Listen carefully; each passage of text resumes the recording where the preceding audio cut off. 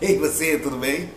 Essa aqui é uma nova forma aí que eu encontrei de interagir com vocês.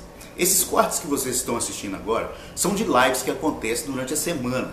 Então assista esse corte aí e veja quanta informação bacana que a gente troca aí durante as lives. As lives acontecem nas terças e nas quintas, às 21 horas em ponto. E eu gostaria que você considerasse em se inscrever nesse canal para não perder nenhum desses conteúdos e também vir interagir com a gente. Então, bora lá? Ah, e também não se esqueçam, se você gosta de mecânica e quer aprender um pouco mais sobre esse maravilhoso mundo de duas rodas, o link do meu curso está aí na descrição desse vídeo. É só você clicar, fazer sua inscrição e vir fazer parte da nossa turma. Bora pro vídeo? O Samuel de Melo. Boa noite, Juliano. Quando você descarboniza um cabeçote, tem como raspar os dutos internos é, da válvula ou deixa de molho em algum descarbonizante? Cara, eu uso descarbonizante, tá? Descarbonizante em spray.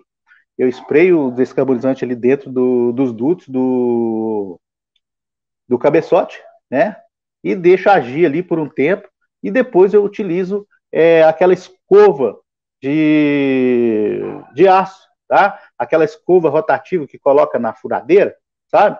É, ou na parafusadeira, né? Se você tiver aí, coloca aquela escovinha e vai ali no duto. Depois que você bate o descarbonizante, o descarbonizante vai amolecer ali aquela carbonização.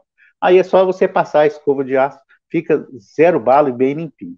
Tá bom? Um salve aí, muito obrigado. Espero que eu tenha te ajudado aí, tá, Samuel?